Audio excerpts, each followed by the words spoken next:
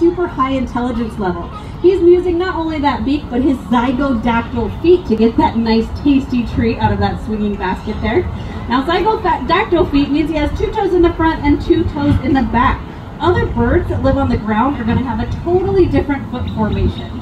And so that's how we know that Malakai here does live up in those treetops.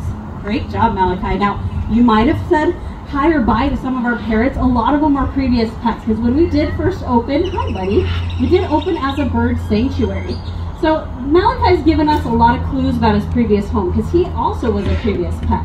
Now, we think that he might have lived by the front door at his last home because he likes to welcome in our guests. Come in. Great job, Malakai. He's also really quite the gentleman. He likes to shake hands and say, how do you do? Malakai likes to protect our stage when we are not around by pretending that he's a larger animal. And this he might have learned from his previous home because they may have had a dog. Your dog? Oh, that was kind of good. Let's try that again. Dog? Says, it is windy out here today. Well, I'll tell you what, let's try to play his favorite game. Ready? We're all going to cover our eyes, and then, uh, and then we're going to say, where's Malakai, okay? Where's Malakai?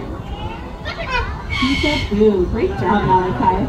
And we love Malakai very much, and he's only about 20 years old, but he can live upwards of 80 years. Now, he likes to let us know that he loves you guys visiting us by sending everybody off with a nice big kiss. So again, guys, feel free to say hi or bye to any of those parrots. They may say it back. They may, in fact, even say some other choice phrases. That's a disclaimer. They didn't necessarily learn everything you learned from us trainers here at the zoo. Now we are going to be going